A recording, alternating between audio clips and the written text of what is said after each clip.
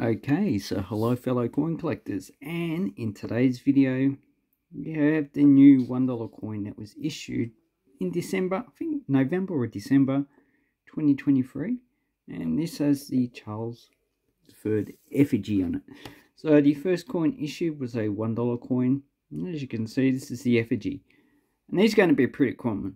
So at first, uh, it's reported 3.5 million of these coins minted, then later on, I think they're probably just still going to mint these coins. Some people saying 10 million. I'm not too sure where they get that information from. But if you have a look at the effigy, uh, the initials DT, so I can't remember who actually designed this coin. Uh, Charles III, Australia. So when they issue commemorative coins, they're going to have den denomination down below.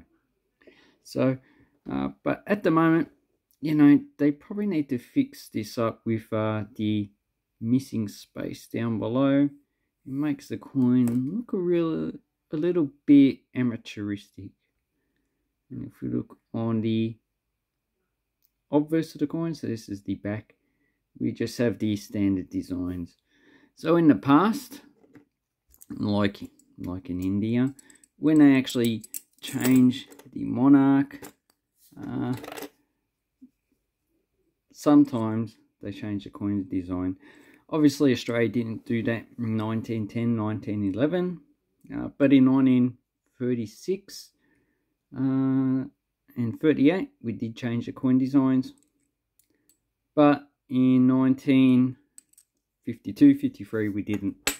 So it does depend, and this time we're not going to actually change the coin designs. And what I also got was the $2 coin 2021. This is going to be a pretty common coin. So that brings us, will these coins with the Jody Clark effigy be worth a lot of money? Well, what we need to do is look up the mintages for this $2 coin. So here we are on the Royal Australian Mint. They have the mintage figures, which is the best, probably not the most reliable, but the best site to actually get these figures from. So 2021, we have 13.9 million. Uh, $2 coins. And then we've got 22 and 23, shouldn't be finalised yet, but 5.2 million. And I'm not talking about commemorative coins either. So, $1 coins. Let's see if this is actually on the website. Okay, so we've got all the actual commemorative coins. Need to go down below and uh, too quick. Okay, so they don't have any of the 2023, but the 2021 Mob of Roos is probably the one to get. And the 2022 Mob of Roos, you know, it's going to be a common coin. Uh, so, this is probably the last year that we'll know that they issued any more 2021 coins. But obviously, most of the 2021s are donation dollars. So, uh, if you know, 13 million coins. So if we take some other coins they issued in the past. So we've got footprints coins. These are minted in high numbers. Uh, if we look at the Renniks catalogue very quickly, we can find most of those are 1955. So the 1955 footprints. Okay, got it open. That had a mintage of um, 27 million. And we're looking for one with a similar date. So 49. Okay, we have some other ones as well. 63, yeah, 44. Ah, uh, so anyway, those ones, even with 13 million, these ones are just pretty common. Uh, and in circulated grade, you know, these are probably worth two or three dollars each. Then you got other coins. Now these are high mintage US coins.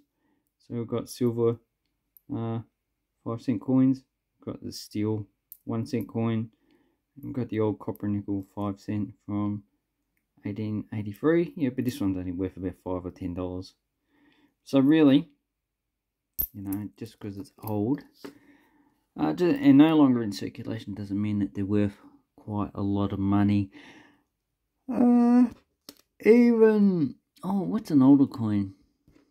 So even this coin, so this is an old 2p from Cambodia, around about 1840s, but these only sell for about $20. Uh, a pretty common coin. And, oh, that's right. So, got some mapper coins. So this is a 2,000 year old coin, the Satavahana. And this one you can probably pick up for about, no, about $50 for that one. So that's one of the scarcest expensive coins. But if, uh, okay. Oh, I put all the older coins away. But, okay. Mombasa coin. So this is from Kenya. It's 1888. Yeah, but in this condition, only worth about 10 to $20. So, hopefully there's a few examples of coins where, even though they're old, they're not really that much value. But because these ones are going to be common coins. I'm talking about the Joe Clark as well as the Charles III. Uh, it doesn't hurt to actually keep them know, for about two or three years and see what the market does. You might lose a little bit of value, but you probably won't notice it. But in the long term, based on my experience with coins, uh, these are not really going to go up that much in value. And majority of these are just going to be face value. So I hope that helps you with your coin collecting. It's not investment advice. Just collect coins if you like them. Anyway, let's say thank you very much. Have an awesome coin and banknote collecting time. Thank you and goodbye.